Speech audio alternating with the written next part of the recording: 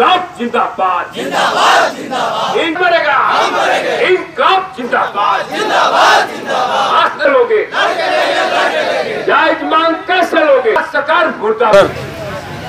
सरकार पुनः सभी बिहार प्रदेश में जितने भी एस हैं उनको पुनः बहाल करें और हमको सरकारी कर्मी घोषित करें।